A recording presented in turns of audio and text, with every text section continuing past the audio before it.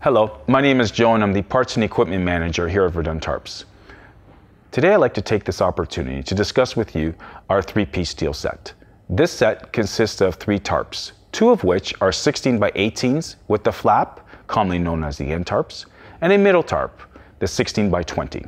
This set is ideal for any low profile loading, which include plate, pipe, tube, and coils that may run the entire length of your trailer up to a 53 foot trailer. This set is advantageous for drivers because it spreads the weight amongst three tarps instead of two, making each tarp lighter as well as easier to work with.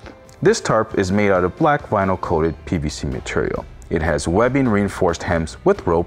We use number 4 brass grommets approximately every 24 inches and it has durable heat welded seams. Both end tarps have two rows of box stitch stainless steel D-rings with wear flaps that are approximately 2 feet apart.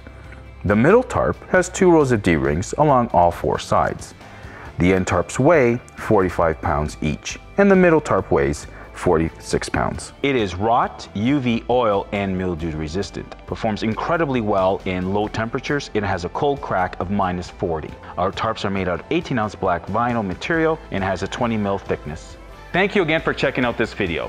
And please don't forget, for all your tarping needs, we have you covered.